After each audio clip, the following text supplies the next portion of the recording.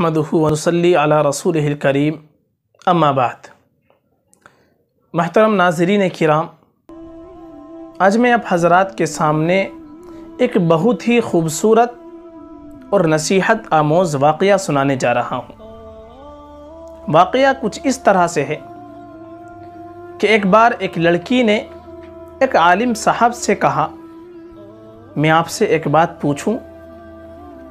आलिम साहब ने कहा बोलो बेटी, क्या बात है? लड़की ने कहा कि हमारे समाज में लड़कों को हर तरह की आज़ादी होती है। वो कहीं भी जाए, कुछ भी करे, इस पर कोई ख़ास रोक टोक नहीं होती। लेकिन इसके बरक्स हम लड़कियों को बार बार हर बात पर टोका जाता है और हर बात पर रोका जाता है कि ये मत करो यहाँ मत जाओ, जल्दी घर आ जाओ। ये सुनकर आलिम साहब मुस्कुराए और फरमाया, बेटी, आपने लोहे की दुकान के बाहर, लोहे के गोदाम में रखी लोहे की चीज़ों को देखा है।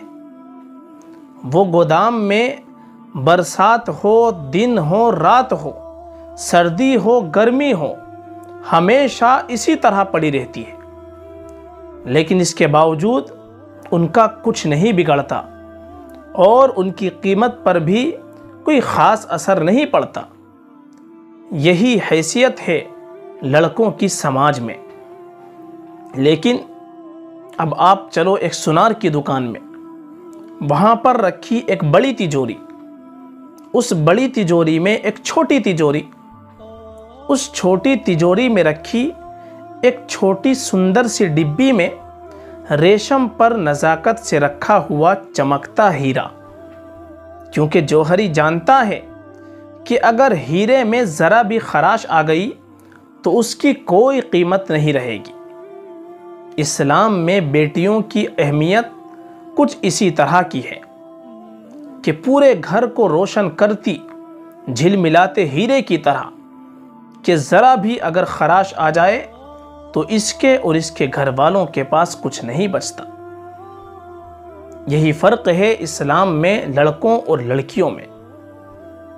आलिम साहब की बात से पूरी मजलिस के ऊपर एक खामोशी सी छा गई और उस लड़की के साथ पूरे मजलिस की आँखों की नमी ये बतला रही थी कि हीरे और लोहे में क्या फ़र्क होता है।